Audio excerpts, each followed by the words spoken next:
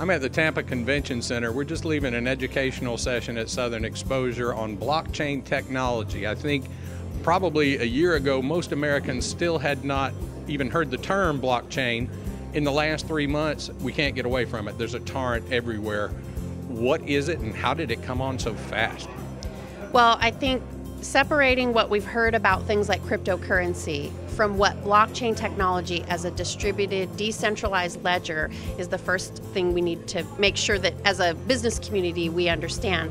The best part of it is it's reinvigorating the conversation around data sharing. Right? So blockchain is about bringing parties together in more of a network system than a linear chain system, actually in real time so that we can have visibility to the same data and we can make effective business decisions based on that data. Well, one of the things we think blockchain will do is allow us to have access to digitized information about the food system at every step along the farm to fork continuum. Today, the way information about the food system is captured is often in paper. We did a pilot using mangoes as a proof of concept, and we captured information about how mangoes flow from farm to our stores on the blockchain. Prior to doing the pilot, we did a traceability exercise we wanted to see in a package of sliced mango, how long does it take us to trace those mangoes back to the farm from where they're grown?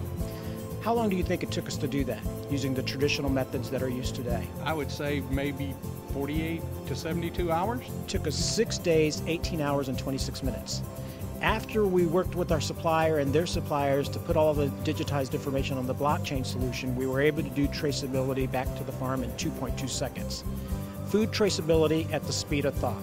And we'll give one other example. Um, say uh, organic certification.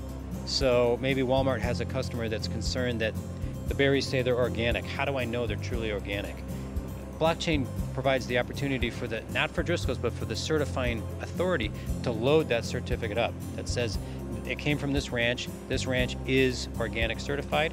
And if, if Driscoll's and Walmart decide to share that with a consumer, then that's a vehicle in which we could share that. So the consumer can say, yes, I in fact can see the certificate, I know they're organic, and then they feel comfortable with their purchase. Blockchain has the power to transform transactions the way the internet transformed communications. But at the end of the day, this is not something for people to fear. This is not some scary new technology that's going to come take over the world.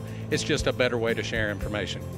At the end of the day, blockchain is about trust. And what it does that I think is so fantastic is it takes a lot of the investments that have already been made, whether it's investments that you've made in digitizing data, whether it's investments you've made in standards like PTI, whether whatever the information, the, the investments that you've made, blockchain then allows you to really realize value on that by going from, hey, this is the information that I have in the four walls of my organization that I can use to understand my customer, and instead say, this is the information on the entire end to end transaction from farm to end customer, looking at what happens and how can we improve the experience for the end user based on cooperation by all of the participants in that supply chain.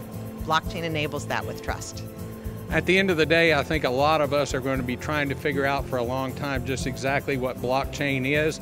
In the meantime, we're all going to be using it. In Tampa, Florida, I'm Chip Carter from SoutheastProduceWeekly.com, reporting for RFD TV.